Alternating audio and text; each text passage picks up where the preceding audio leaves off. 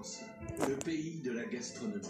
Ses bistrots, ses grands restaurants, ses marchés, ses commerces, ses 1200 fromages. Qui patoune les moments de partage. Bah, c'est Kiki. Ouais, c'est mon kiki. La France est Ah, mon kiki. C'est à toi la papate là Aujourd'hui, en France, 7 millions de personnes sont en précarité alimentaire. Plus que jamais, les banques alimentaires ont besoin de vous. Faites un geste, donnez aux banques. Et là tu repatounes?